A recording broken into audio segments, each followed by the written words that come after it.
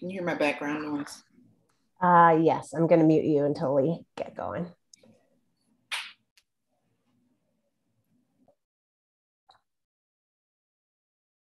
And with that, we are officially live. Hello and welcome to this week's edition of the Black Freedom Lectures. It is so good to see you virtually wherever you may be in the world. My name is Eve Ewing, and I'm the curator of this series. And it's good to be here with uh, our amazing guest for this week, Barbara Ransby. Um, and I will introduce her in a second. But first, I want to let you know that I'm coming to you live from the city currently known as Chicago, which is the occupied lands of the people of the Council of Three Fires the Ojibwe, Potawatomi, and Ottawa nations, as well as the Miami, the Menominee, and the Ho Chunk nations.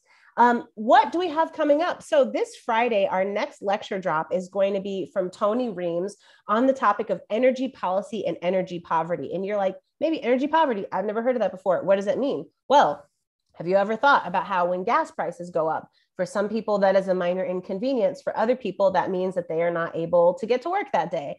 Have you or anyone you know ever had your lights cut off or your heat cut off because you couldn't pay the bill? Have you ever thought about how those issues might disproportionately impact Black people? Dr. Reames is going to school us on the ways that energy policy and inequality interact with racial inequality. I'm very excited. That lecture is coming this Friday. And next Thursday, May 27th at 6 p.m. Central Time, Dr. Reames will be joining us for a live Q&A. As always, please come with your questions. And if you can't remember any of those dates or anything I just said, it doesn't matter because you can sign up for our newsletter at blackfreedomlectures.org slash newsletter and you will get all these dates and information and discussion questions and things to read. It's totally dope. That is blackfreedomlectures.org slash newsletter sign up. Now, for this evening's conversation, first, I want to say thank you, as always, to the greatest team in the known multiverse. Imani Lagron and Siyanda Mohutsiwa make our programs possible. And our ASL interpreter, Barbara Williams Finley, is here with us, as always, tonight, as well as our friends and colleagues at the Mellon Foundation and the Center for the Study of Race, Politics, and Culture. And now, I have the great pleasure of introducing our very special guest, um, one of my honestly most favorite living humans, the one and only Barbara Ransby. Um, Dr. Ransby is a historian, a writer, and a longtime political activist. Um, she has does, published dozens and dozens of articles and essays in both popular and scholarly venues. Most notably, she is the author of the award winning biography of civil rights activist Ella Baker, which is entitled Ella Baker and the Black Freedom Movement A Radical Democratic Vision which won no less than six, count them, six major awards. She is also the author of Eslanda, The Large and Unconventional Life of Mrs. Paul Robeson, and more recently, Making All Black Lives Matter, Reimagining Freedom in the 21st Century, which was published in 2018. I heard a rumor on the street that she is working on a new book. This is top secret, don't tell anybody, but her next book is going to be titled Are We Ready for a Revolution? The Decline of Racial Capitalism and Social Justice Movements of the 21st Century. Dr. Ransby serves on the editorial boards of several publications, including The Black Commentator, the journal Race and Class, which is based in the United Kingdom, um, the Justice, Power, and Politics series at the University of North Carolina Press and the Scholar Advisory Committee of Ms. Magazine. I think all magazines should have a Scholar Advisory Committee, but that's just me. Um, she also became, in 2012, the second editor in chief of Souls, which is a critically important journal of Black politics, society, and culture. And she has her BA in history from Columbia University and a master's and a PhD in history from the University of Michigan. Please join me in welcoming, with all your enthusiasm and love, Dr. Barbara Ransby. How are you, Barbara? I'm good, Eve. That was such a lovely. I'm one of your favorite humans on the yes, planet. I'm yes. so honored. Yes, uh, indeed. Yes, yes. Indeed. Well, you are one of my favorites as well. Oh, thank you. I don't know if you've met some of these other people, but you know, on the planet. Yeah, you're one of yeah. the good ones. There's some good um, ones. There's, there's some, good, some ones. good ones. Um, so I want to say thank you, a special thank you for your lecture because I know that you had to cover, we asked you to cover a lot of ground um, in very little time, but you did what I thought was a, a phenomenal job and it was very clear and accessible. And also, whenever I have the opportunity, I feel compelled to thank you publicly um, for all that you've done as, as a teacher for me and for so many others. I know that in my life, you have been um, one of the most important political educators. Um, so I just want to thank you for that. I feel it's thank important you. to do that. Thank you. Yeah. Now that's me buttering you up before I ask you a whole bunch of questions. I know. and I and, and I might flip them back to you too. So just be, oh, no. be, be on guard. Okay. I'll be ready. Um, So let's get right into it. So, we asked you to talk about Marxism, internationalism, and anti fascism, and the role that Black people have played in all of those different intellectual and political movements. Yeah. And one of the people that you spoke about was someone who um, is a very important figure in this area of study and who you actually knew personally, and that is the scholar Cedric Robinson, um, who wrote the book Black Marxism. And one of the phrases that is um, frequently associated with Cedric Robinson is the, the concept of racial capitalism. So I wonder if you could start by just helping us briefly understand what racial capitalism means. It's also in the title of your, your forthcoming book. So, so what is racial capitalism? Yeah. Well, you know, my our dear friend Robin Kelley always says, you know, it's redundant to say racial capitalism because capitalism has been a racial project since its inception. And that was part of of Cedric's uh, argument, for me, it is useful to add the racial only because that gets erased. And, and, and actually, some Marxists deny it. You know, I mean, they say, of course, you know, capitalism is racist, but, uh, but it's not a constitutive part of, of the emergence of modern capitalism. And um, Cedric argued that it was, and Cedric argued a bit with Marx in terms of uh, the origins of capitalism that uh, that racism was not, and white supremacy was not just a byproduct of divide and conquer the working class, but actually the racialization of other populations, including the Slavs and the Gypsies and the Jews in Europe, you know, have been in a sense a dress rehearsal uh, for what we saw as a full-on development of white supremacy uh, in, in what became the Americas, as, as you say, the occupied Americas. So, um, so you know, the, the, the reason that we use that term is to highlight the dual pillars that were foundations for, you know, lack of a better term, Western capitalism, which was the theft of indigenous land and the theft of Black bodies and labor. That gave capitalism, particularly in this country and throughout the region, you know, a jump start it gave, you know, free resources because they were stolen and not compensated for uh, uh, to people who were the emerging uh, capitalists of this of this land. And so, um, what what justified that was the ideology of white supremacy. It developed over time, you know. But we saw in the 1600s. For I, I never forget this um, essay that Lerone Bennett wrote. It was in in Ebony in 1970 and, you know, it wasn't seen as this great scholarly intervention, but he just sort of laid it out. It's called The Road Not Taken. And he lays out the way in which the uh, British North American colonies began to, as he put it, step by step, make a choice of, um, you know, separating white indentured servants from uh, Black, at the time, servants, soon to be uh, enslaved people. And the characteristics of the new system that emerged in this country was that it was racial because most systems of slavery throughout time were not. Is this too long an answer, Eve? I'm right here with you. I'm right here with you. Keep going. Wait, wait, wait. Tw- 20 minutes later. No, we're anyway. Good. Yeah.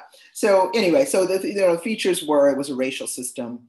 Uh, it was people were slaves for life, and uh, and uh, this the status of enslavement was inherited, and that was not characteristic of all systems of slavery throughout time. That was you know particular set of characteristics uh, in this hemisphere. So anyway, so all of that being the foundations uh, of, of capitalism is, is why we invoke the term racial capitalism. We can debate with Cedric about, you know, the origins and at what point did racialization become systemic white supremacy. Uh, but what we don't argue about uh, is the intimate um, symbiotic relationship between white supremacy uh, and capitalism as a system of exploitation, and in the case of people of color, super exploitation, um, you know, in in in this period.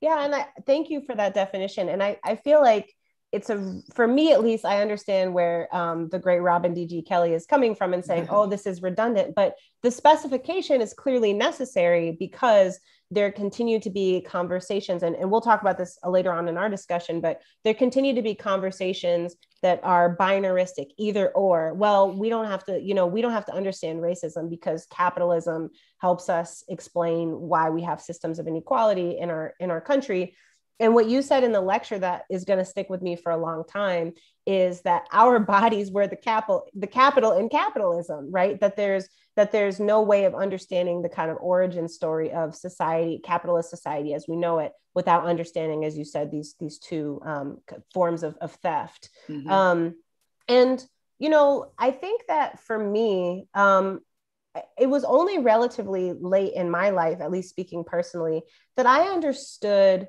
um, the ways that Du Bois, uh, W.E.B. Du Bois, um, Lorraine Hansberry, Paul Robeson, so many black heroes um, who we learn their names for these other accomplishments mm-hmm. um, i didn't understand until much later in my life the relationship that they had each of them to socialism to marxism to communism and that uh, that um, you know i just want to shout out the book looking for lorraine by imani perry for example which you know we we grow up under especially in chicago understanding lorraine hansberry as a great playwright but many people are not aware of her you know life as a political organizer and very much affiliated with these kinds of leftist movements.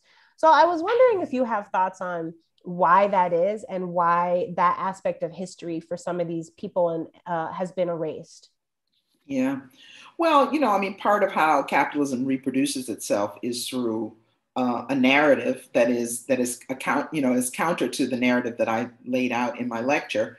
Um, and it erases, uh, you know, it erases those folks who stood in opposition. It, erase, it erases um, from the narrative and the biographies of many people who were celebrated, as you say, for other things. It erases the kind of left, red, uh, socialist aspects of their of their worldviews. I mean, for example, Du Bois. I mean, Du Bois is read everywhere. Brilliant, you know, prolific early Black intellectual, right?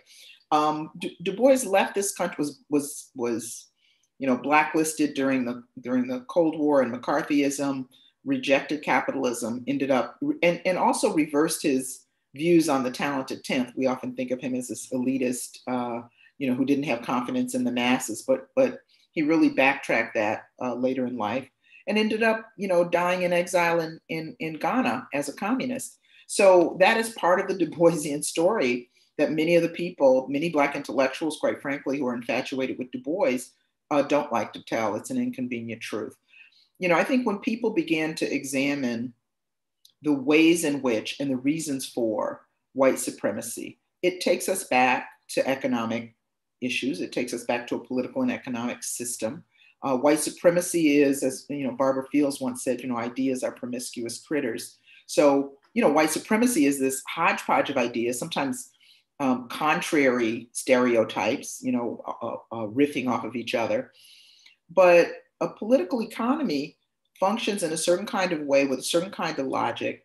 And racism and white supremacy has served capitalism very, very well. And many people who dig deeply, you know, into why we have had the plight that we've had and why we have suffered in the way we have, um, land on a critique of capitalism. Paul and Eslanda Robeson did, W.B. Du Bois did, Walter Rodney in Guyana did, uh, Lorraine Hansberry did, uh, Langston Hughes uh, at one point did, Richard Wright, you know, even though of course became disaffected from the Communist Party, you know, for some for very good reasons, uh, but but initially was was also uh, you know uh, clear critic of capitalism. So the list the list goes on. So it really isn't.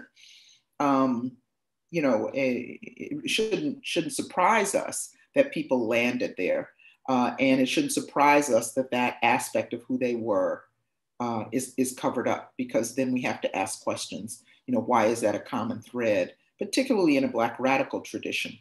Um, you know, there's, you know, we many years ago I was involved in a project which you know about called the Black Radical Congress. We tried to bring together different um, streams of what was a Black radical tradition. And Cedric was very important.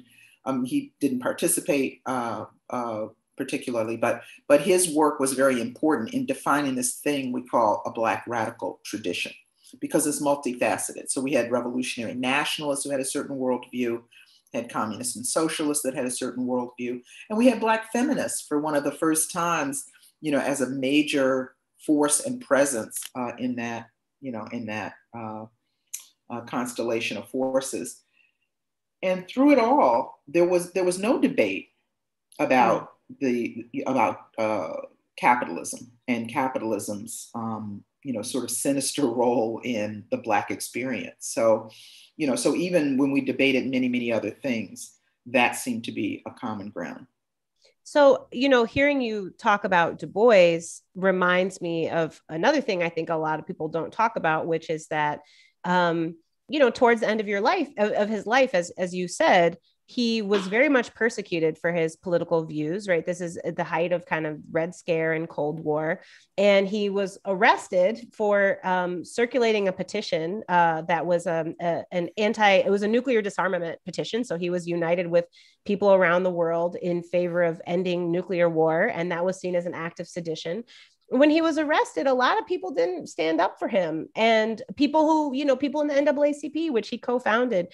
And I wonder what you think if if you think that that as Black people, even though we occupy a certain position within the United States, if we are also if part of this is that we are also susceptible to um, internalizing the ideas we get about socialism and communism and Marxism being very scary words, and you know, could you just unpack that a little bit? How those mm-hmm. the the the kind of red scare that we're still living through? Yeah, I think that I think that comes from two different places, um, and one is the politics of respectability, which is to say we're fighting racism. We don't want to carry any other burdens. If communism is a stigma and a label, then let's eschew that so that we can just fight the main battle. I mean, it's a very short-sighted view, um, but it's not it's not unique to Black people. For example, people in the immigrant rights movement sometimes you know embrace this uh, fairly conservative image of who they need to be in order to have feel that they have less opposition about being included. Right? We're, we're immigrants, but otherwise we're just like you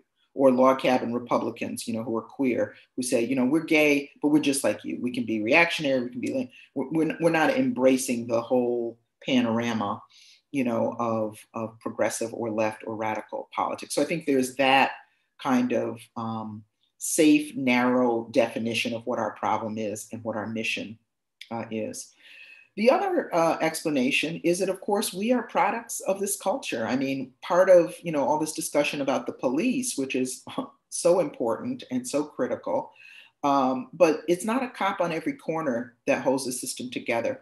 It's also ideas, and it's the degree to which we internalize certain ideas about the origin stories of this country. You know, about the fact that you know basically it was a great idea. We just need to be included in it. Um, and we don't we we are constantly proving our worthiness in some ways, you know, to, to be included. And so to identify with ideas that might be seen as rebellious, seditious, anti-patriotic, anti-American um, is, is, is something that engenders fear in some people. That said, one has to be in awe of the persistent radical voice in Black America that has said, this is not right. These are, these are lies uh, we understand, you know, that this is not what justice looks like. This is not what freedom looks like. It's not what it looks and feels like to us, you know, and being that constant critical voice from inside, sometimes feeling there is no place else to go. We have to confront this. And so that is also what has fueled a Black radical tradition uh, and a Black political tradition in this country you know as you as you look around and observe the rapid fire political changes that we've experienced in the last decade I see on the one hand more and more people, certainly during the pandemic, thinking, okay, wait a minute, this system doesn't seem to be working at all. Right. But on the other hand, we still see Black capitalism as rising for some people as a kind of viable alternative. As you said, the system's not bad. We just need to be included in it, or we want to be the top of it, or we want to buy into it. And I'm wondering, just as an observer, as a the critical observer that, that you are, where do you see the tide turning in terms of um, the uh, kind of an ascendant black capital an ascendant black critique of capitalism. Do you see are you feel optimistic about that or are you not sure? I'm sure. I'm sure that i feel optimistic. I'm not sure how it will resolve itself you know so um, i feel optimistic about this generation of activists um, and it's part of what i wrote about in my last book. And look it's not a perfect movement. I'm referring to the movement for black lives and what often gets termed black lives matter and that includes a lot of forces um, but I think um, many of those activists have taken on, you know, the politics of respectability that I was just speaking about, and that is a very class-inflected view, right? To say I'm not just about the best and the brightest, the most accomplished, the people who have, you know, fit into the system in in in in the most um, in the fullest way, but I'm worried about the person who has broken the laws of the system. I'm worried about the formerly incarcerated person. I'm worried about the homeless person. I'm worried about the person who might have an addiction. Um, you know, to say that those folks are at the center of our analysis, the folks that the you know system would rather us forget about, right, um, is a radical intervention politically. You know, when we think about the civil rights movement and Rosa Parks, who was a great you know heroine and is often shortchanged in terms of the breadth of what she did and represented and knew and was. Um, but in some ways, she was chosen because she was a model of a certain kind of respectability. And other people were not chosen as symbols of the movement because they were not. And so then come to the point where we have an Eric Garner, uh, a George Floyd, um, a Philando Castile, uh, people who, Walter Johnson, people who um, in some ways broke the rules, people who were functioning in the underground economy, and people who the media and the cops initially attempted to vilify and deem as deserving of whatever happened to them. The movement, you know, yanked that story back. You know, so you know that. It, so it's not just about the politics of respectability. It's also about the ways in which um, conforming to middle class and actually you know, do- the dominant system's notion of who we need to be um, in order to be legit in this society is rejecting that. And that is a radical move away from Black capitalism, right? So that said, you know, there's a lot of people, you know, b- Black people who now have positions of power, who make a lot of money. Um, the majority do not. And so I think our analysis has to match the reality that we see. It is still a racist system. It is still uh, uh, a system of white supremacy, but it does manifest itself a little bit different. And we all we all don't experience race and racism in the same way, you know, obviously. So when um, Movement for Black Lives responds to, you know, uh, um, Freddie Gray's murder in Baltimore, for example, there are Black public officials, there are Black cops involved, etc. When they when they respond even to Obama, it was not with a simplistic notion that we're all black, so we're all on the same page. No, it was a political response. And so that what that's what makes me optimistic about our ability to critique the system in a much more thorough and fundamental way, um, and not to be distracted uh, or satisfied with representational politics that don't involve any kind of redistribution uh, or transformation. So, so that's that's why I'm optimistic. I think we, you know, we do have a serious fight on our hands, but um, but I am optimistic yeah i really i appreciate you laying that out because you know when you mentioned rosa parks and her being chosen as a face of the movement you know i hear the implicit nod to claudette colvin right? Exactly. the black teen girl who initially was supposed to be the rosa parks figure right? That was gonna that was going to um, be the leading face of the, of the bus boycott and becomes pregnant right? And so we can't have a, a, a an unwed mother you know black teen pregnant girl be the face of this movement and I think that to your point, one of the most important interventions is catching that type of language when we talk about, for example, when we say the shooting of unarmed Black people, right? Well, guess what? Maybe armed black people also don't deserve to be executed in the street by the police right by the state. Maybe that's also not okay. And i see that as tying into what you're saying about the relationship between respectability and capitalism because this all comes from the idea that to be to be poor is a sin right? In america to be poor is a moral failure. To be in the margins where you have to participate in these kinds of underground economies is a moral failure and means that your life is then not worth saving. And that's just not it's is not mm-hmm. okay. This is mm-hmm. not acceptable. Mm-hmm. mm-hmm.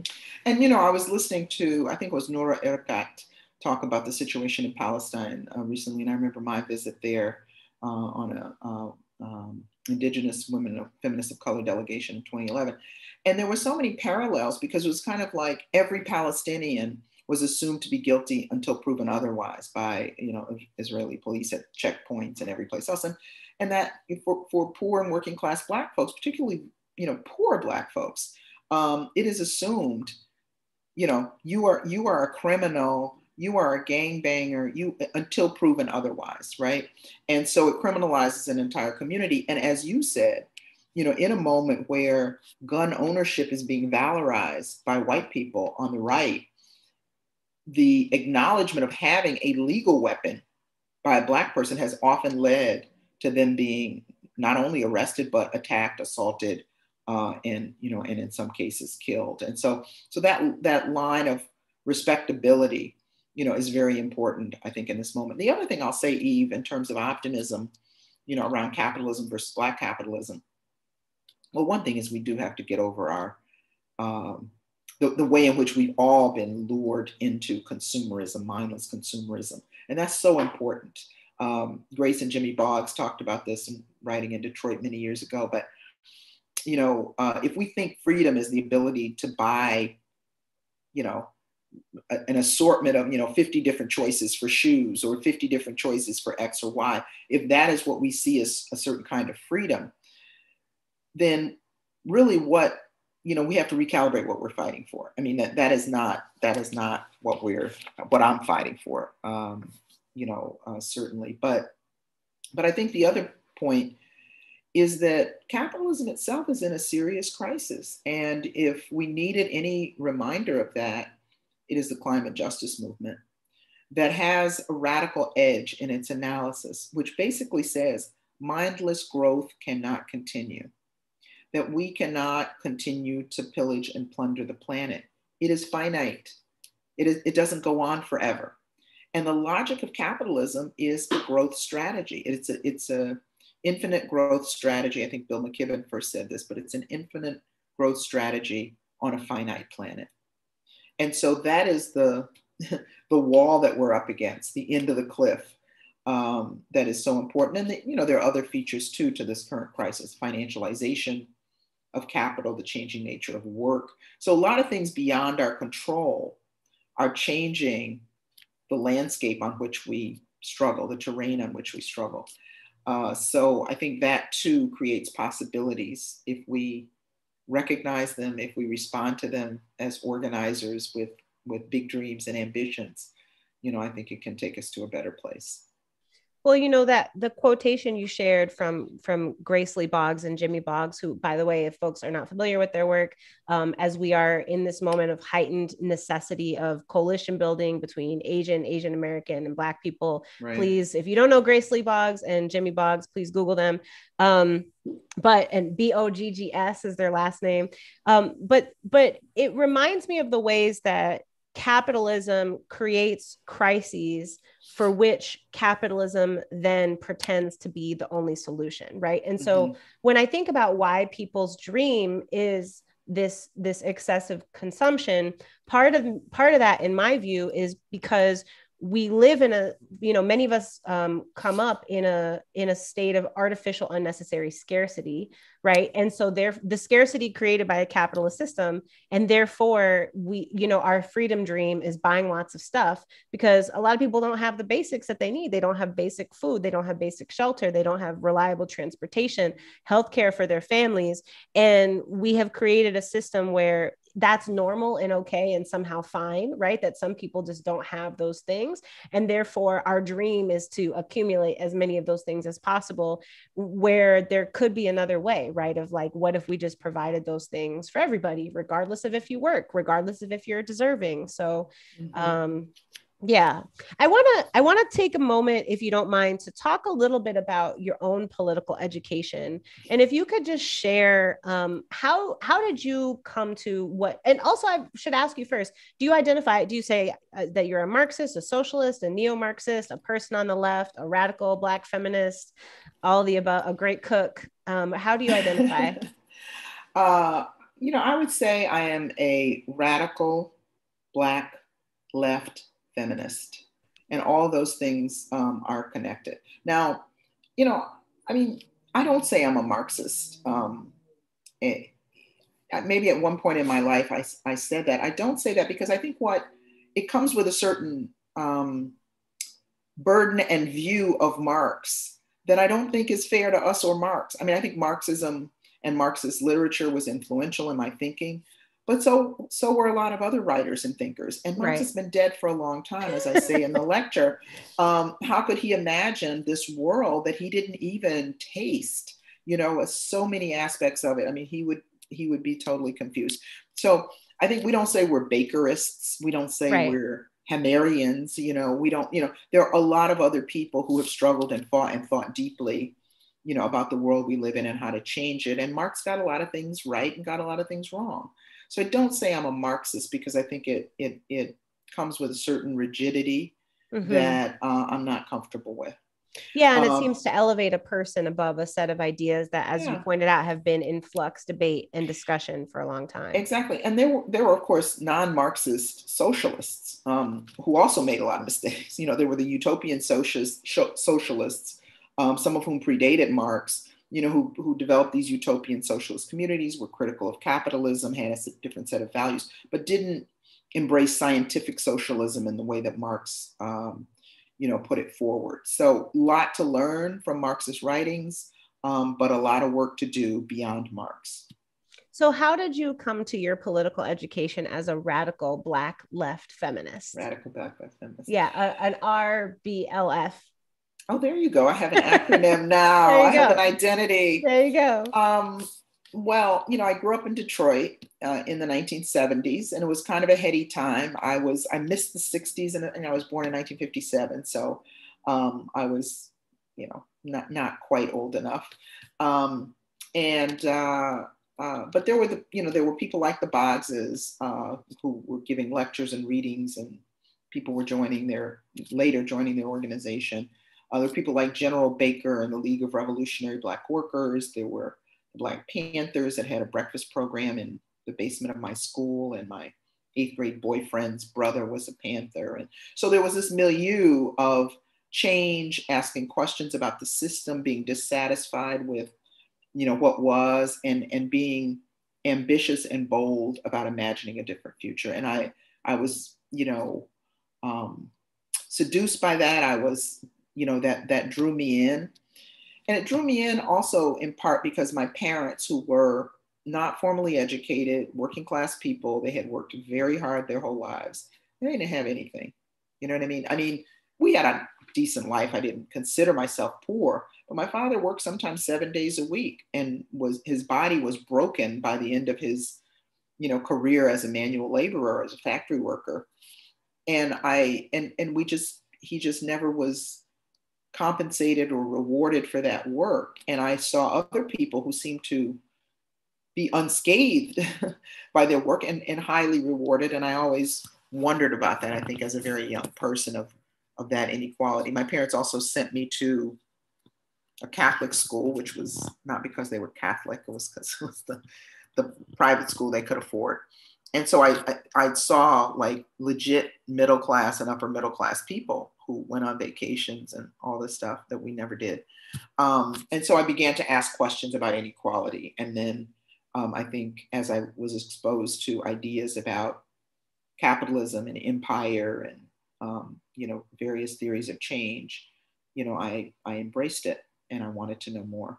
And then I you know I mean the, with all of us I think you know there are phases to our evolution. I think I had a very simplistic formula about us versus them early on and about how you make change. And, and then I began to see, you know, weaknesses and contradictions within the left and began to be, you know, dissatisfied um, with the dogma that matched, you know, that, that was the response to our oppression, which was not liberating us.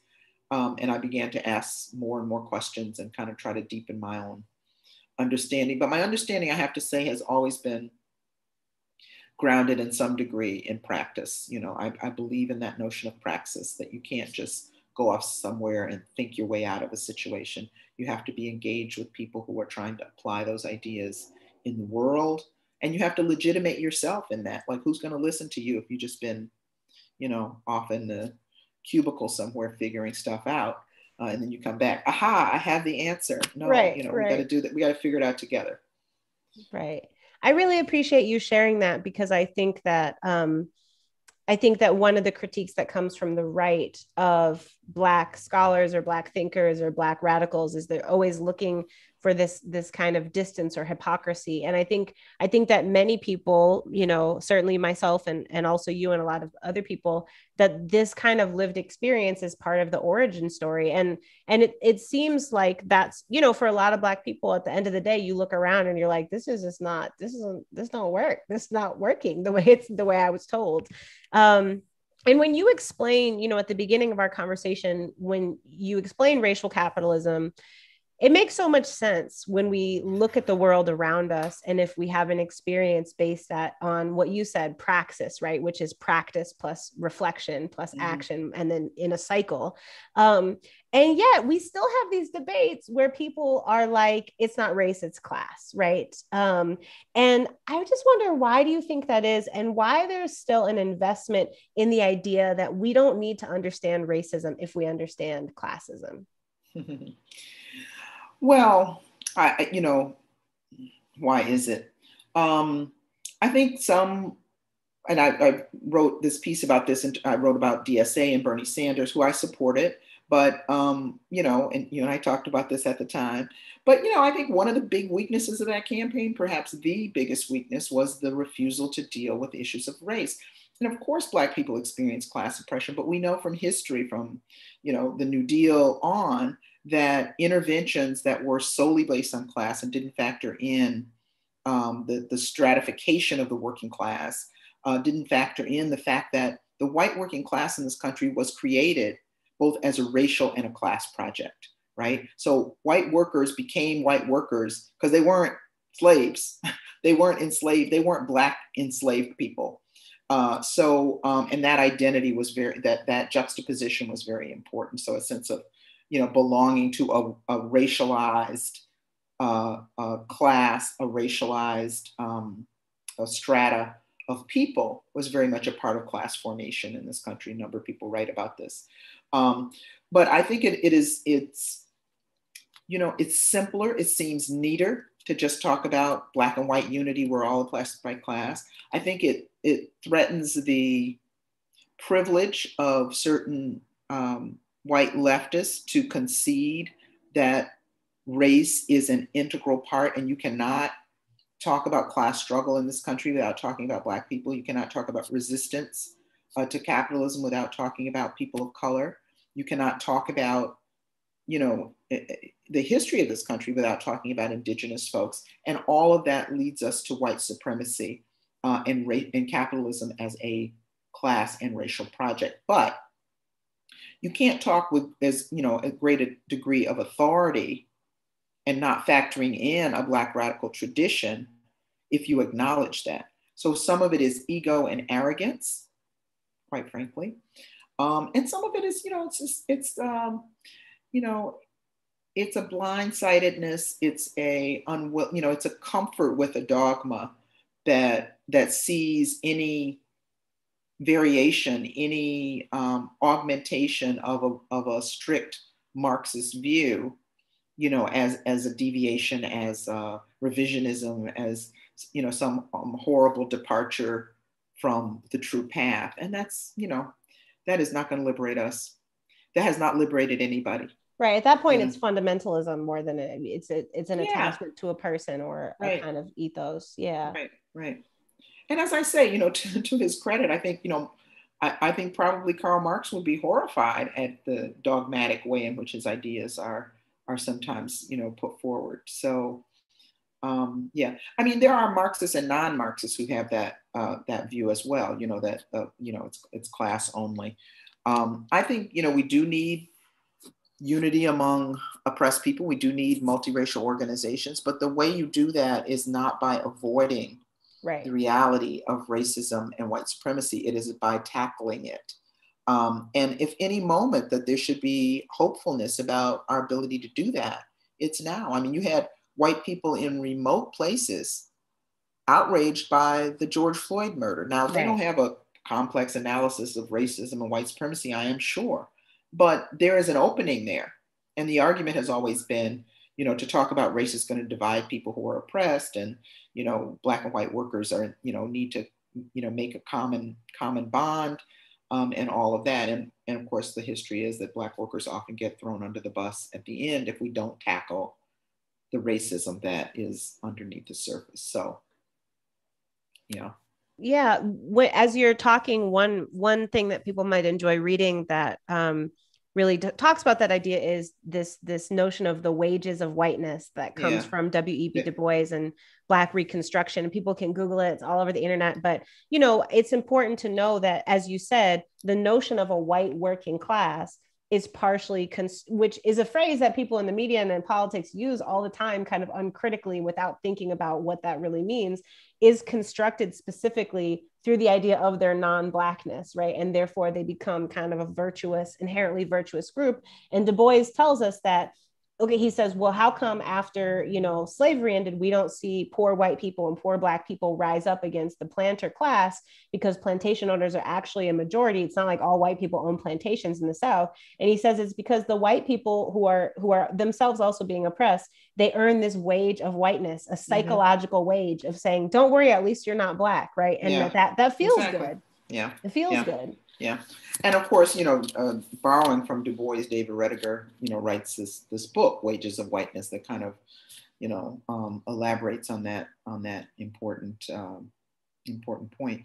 Yeah, I mean, which also gets us to the point of there is a material basis. It's not just false consciousness or you know we're all in the same boat we just don't know it you know some of us are in the boat some of us in in steerage and some of us are on the you know on the top level so um you know the the creation of a psychological wage is also paralleled by real concrete material right. conditions that are slightly above that of, of black people in comparable positions not you know we're not comparing oprah to a white you know unemployed worker right. but a black unemployed worker and a white unemployed worker have a different set of experiences in that black unemployed worker has other layers you know uh, of injustice that compromises his or her um, ability to have a decent life and to in fact survive than the than their white counterpart.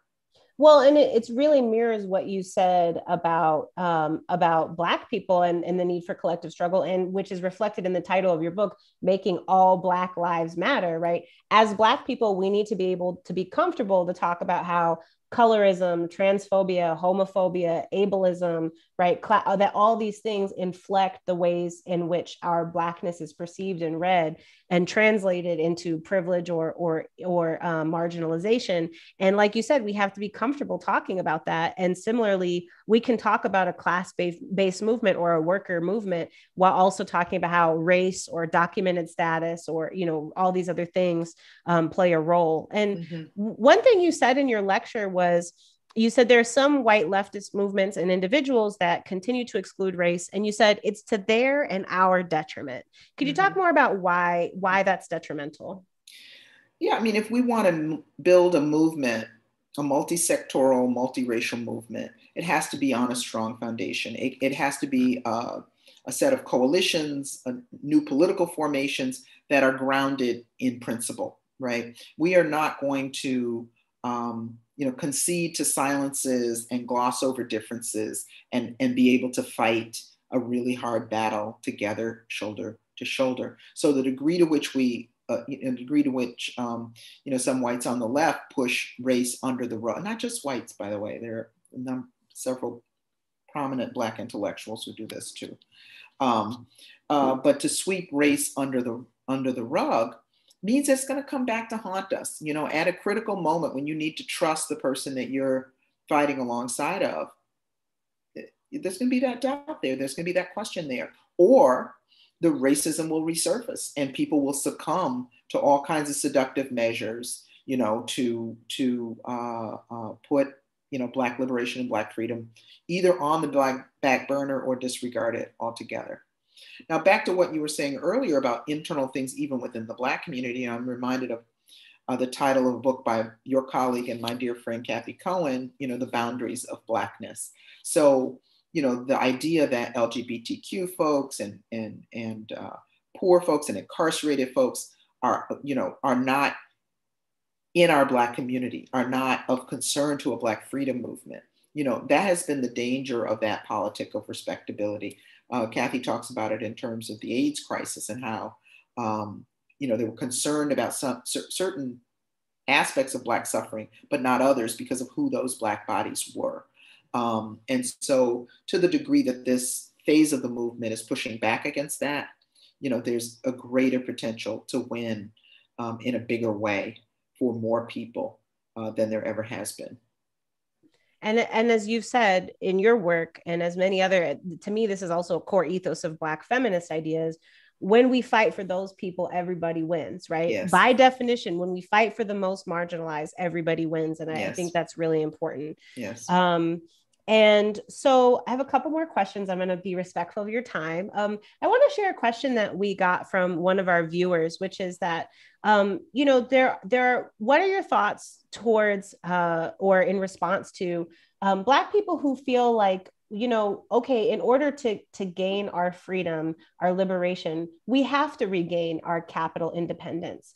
And in particular um, looking at the history of places like tulsa and the attachment to the idea of, of a black wall street how do we on the one hand recognize and acknowledge the ways that capital has been stolen from black people without necessarily um, viewing that as the pathway to our liberation and and what you know people who want to buy back the block those those kinds of ideas how do you how do you respond to to those um, ideologies well, it depends on how we're defining wealth. I mean, the way capitalism defines wealth, the, the way profit is um, accumulated under capitalism is you know, quite frankly, by exploiting people. If you go and get a McDonald's franchise and you pay everybody that works there what they deserve, and you um, improve the quality of the product so that we don't all get, you know, become overweight and sick and have high blood pressure. Um, if you do all those things, you, your profit is going to go down. So the way that we accumulate wealth under capitalism is necessarily exploitative. Um, you, you, you, you get as much as you can from the consumer that buys your commodity and you pay as little to the worker that produces it. That's the formula. You know, it's not, you know, so you can lessen that and you will lessen your margin of profit. Now, we can talk about wealth in a different way. We can talk about collective wealth. We can talk about solidarity economies and cooperatives as a way, as an alternative way of producing and distributing goods and services um, in you know parallel time under capitalism. And then we can imagine, you know, a whole different formula where what our reward is, is not to get more money in the bank and a bigger house, but it is that everybody gets access to education, everybody gets access to healthcare, everybody gets a house to live in. Um, to me, that's that's what we should measure in terms of collective wealth um, of, of, of, of, Black people. You know, there is, um, I think, an illusion, and we, we talk in circles about this sometimes. We talk about Black individual wealth, as if it were collective wealth, right? So if every time a Black person became a billionaire, it all got divided up between the most needy Black people in the general vicinity, right? That would seem like progress to me. That is not what happens. Now, it is true that um, wealthy Black people give more to Black causes, Black scholarships. Um, you know, they may be inclined to hire more Black people but they are still doing it within the confines of a system that fo- is focused on and fueled by the individual accumulation of wealth at the expense of other people. That's that's the only way to view it. So I, you know, based on my politics and values, that's not the way that we are going to get free, even though a few of us might feel free in the process and and be quite comfy um, that's that's not what I'm going to spend the rest of my life fighting for.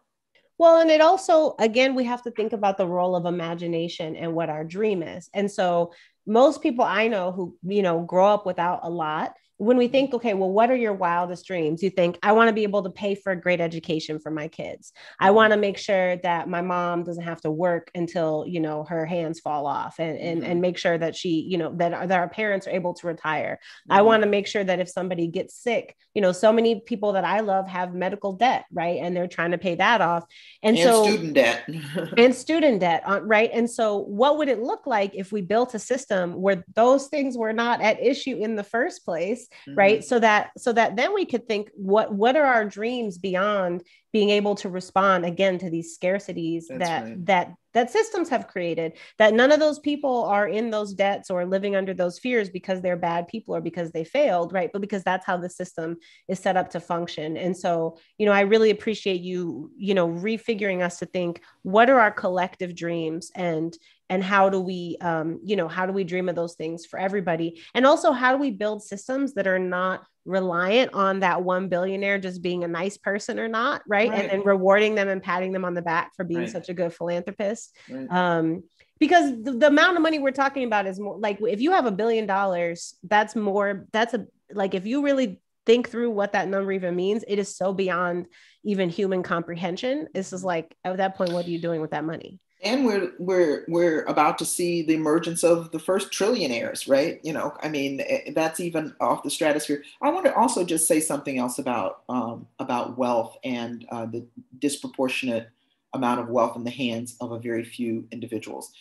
You know there's a way and people like us might think of wealth as oh they're so rich. They have a fancy car. They have a fancy house. They have a fancy coat. Well this is not about that these people have more wealth, and the wealth trans in, trans, uh, translates into decisions and power. They can decide to fund a wing of a hospital that will focus on childhood diabetes if one of their kids happens to have that affliction, right? They can decide that uh, everybody in Haiti is going to have uh, clean water tomorrow. Like, should those be individual choices? The, the, the guy who stood up at the Morehouse commencement and said, I'm going to wipe out your student debt like is that you know as you suggest should that be an individual decision or should that be a collective decision? So to uh, to to allow individuals to accum- accumulate that much wealth is to basically it's a fundamentally undemocratic uh, process. It allows them to basically make you know uh, uh, enormous amounts of decisions that have consequences on many many for many many people's lives um, in a way that you know should really make us very very uncomfortable I think that's right. And I think that if anything, the, to me, the biggest benefit of Michael Bloomberg's brief and ill-fated run for presidency was that it it spawned so many people actually understanding for the first time what a what a billion really is. And Yeah. it's so far you could you could pay for college for everybody you know and pay off all your student loan debts and buy a house and buy your mama a house and buy a car and not work for the rest of your life and not spend your billion dollars. And so the the level of as you said wealth and disproportionate power that we're talking about is really astronomical and beyond beyond what any of us can really conceive in our lifetimes. Um, I want to ask you one more question, even though I have so many things to, to discuss with you and, and say. i didn't get to ask you questions Eve. Okay, how about you ask and you're the one? smartest person we know That's not- no i'm just go Thank ahead you. you. can ask me one. Thank you. Why don't you, if you have one, you can ask me a short one. Okay, good. Oh, you missed your chance. You missed your chance. Okay, now time for my question. So my last question um, is, uh, you know, one of the things that you talked about in your lecture is how powerful it is for us to look at the history of Black freedom fighters who have had an internationalist perspective. Mm.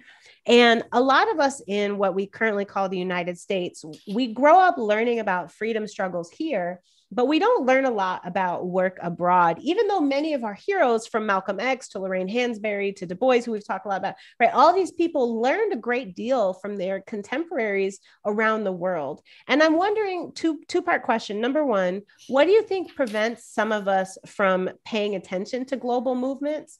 And number two, do you have a, a can you give us one or two book recommendations for Mhm. those of us that are looking to enhance our global understanding of freedom struggle? Right right right i have i have one on my desk right now let me reach I love it. I love a visual aid. yes Oh, yes. World Making After Empire. Oh, The Rise and Fall of Self Determination by my dear friend Adom Getachew. yes Awesome yes. book. awesome book and i have a few We'll, more. we'll drop the we'll drop the link in the I chat. have a few more well. around here as well. Well, you know, um, you know, I think we've been Americanized in a sense. You know, uh, unlike uh, people with with uh, who came as volunteer, whose whose ancestors came as voluntary migrants. You know, many Black people, you know, don't can't trace their ancestry to a single country that they have some, you know, long ties with that they were told stories about when they were children, all that. So, you know, so so we become somewhat parochial. But but there has been, you know, really since the inception, since, you know, think of the anti-slavery movement and Frederick Douglass and Ida B. Wells, you know, traveling you know, to other parts of the world. I will say for myself, you know, I grew up in Detroit. I grew up with parents who, I mean, maybe once my my father was on an airplane once. You know, when my when my I was living in New York and my son was born, he came to see us and his his grandson. But you know, they were people who lived the distance that they could drive and they they were they worked all the time and and all of this but when i moved to new york and i met black people from the continent that is continent of africa from the caribbean from europe from latin america. You know like ella baker when she arrived in new york in 1927 and her mind was kind of blown by the black diaspora that was there. You know i saw so many parallels with you know my parents' lives and and all of that, I I found um, such joy and um, you know kind of intellectual growth in the in learning from you know this very eclectic community of Black folks uh, in New York. So so I think that has been very much a part of uh, Black radicals experiences and a Black intellectual experience. So you know, learning about Maurice Bishop and the New Jewel movement in Grenada, learning about, um, you know, Walter Rodney in Guyana, Sylvia Wynter, um, Claudia Jones, uh, all, all, of these people who crossed borders and boundaries, but had a worldview which, which did not decenter their Blackness, but centered their Blackness in the context of understanding empire, of understanding capitalism as a global project, uh, and, and, and understanding culture, you know, as fluid and transnational. Uh, Claudia Jones, of course, you know, was somebody who was a communist in the United States and was imprisoned and then exiled and then, you know, went on to, you know, found Notting Hill uh, Carnival in London as a, as a political and a cultural project. So I think all of that animates uh, a Black radical tradition that crosses borders um, and boundaries and has ambitions for the place where we are at the same time that we have great ambition and great inspiration from the world. Yeah, I really appreciate that. And one of the things you brought up in your lecture as well was the the Haitian Revolution and mm. how how powerful a historical precedent that is. And another author you shouted out was C.L.R. James, who wrote The Black Jacobins, which is a, a great who, who I met who I met when he was about eighty something. oh my gosh! So sweet and flirtatious. oh 80. no! I mean, you know no, don't make him our problematic fave. know, you know, there's some consistency there. But anyway. Well, um, I, I bring that up because I, you know, on Monday we had a conversation about Palestine with Kari Peterson Smith. And something that Kari said was when you learn about other people's struggle, I, I promise you, you will learn something about yourself. I mm, promise you. Yeah. And I think that, you know, as Black people, I, I certainly, as a Chicagoan, I'm very concerned with what's happening right around me. But there's so much that we have to learn because the systems that got us here are global systems Absolutely. right we are black people in a diaspora right we are we are part of this this international system of of colonialism and chattel slavery and so we have so much to learn when we read what happened to black people in france what happened to black people in jamaica what happened to black people in brazil right so mm-hmm. I, I really appreciate um, one of the ways in which you have been a great teacher to me and to many others i think is to to bring up this internationalist perspective mm-hmm. And right now, I'm glad you you know mentioned Palestine. I mean, the other aspect of a black black radical tradition is speaking truth to power, and yes. even when it is not primarily people of African descent. I mean, what's happening in Colombia right now, which does involve black people, but what you know what is happening in Palestine, what is happening in India with the Hindu nationalism of Modi, you know, all of this has to be a part of our radical imagination and our ambition for a different kind of world and a different kind of planet. I went to Palestine in 2011. Um, and again, I saw so many parallels. I didn't, you know, of course, our country supports to the tune of, you know, a, lot of money, you know, every year, you know, the most money to any country, uh, the Israeli government, which perpetuates all kinds of injustices against the Palestinians, this, you know, continued occupation, um, the treat, treatment of Palestinian citizens of Israel as second class citizens, et cetera. You know, there were so many echoes of apartheid South Africa, of the Jim Crow South, you know, so, you know, this creates a bond. This yes. creates a bond, um, even if we speak different languages. and live, um, you know, in different parts of the planet. So well, I appreciate you reminding us of that always. And I want to honor your time and say thank you once again to Dr. Barbara Ransby. I'm so glad to be living in the, the century and the time and the era in which you live. Um, oh, and I want to say thank you to everybody for joining us. Thank you, as always, to our amazing organizing team, Imani Lagron and Siyanda Mohutsiwa. Thank you again to Barbara Williams Finley, the greatest ASL interpreter this side of the multiverse. Um, and thank you to our good friends at the Center for the Study of Race, Politics, and Culture and the Mellon Foundation. And uh, we hope to see you all soon. We have another lecture dropping on Friday, another Q&A happening next next week. Please take good care of each other and follow us on all the socials at Black Freedom Lectures and check out our website at blackfreedomlectures.org. Barbara, thank you so much. I hope you have a wonderful dinner. And thank you for the great force of nature that is e viewing. thank you. Take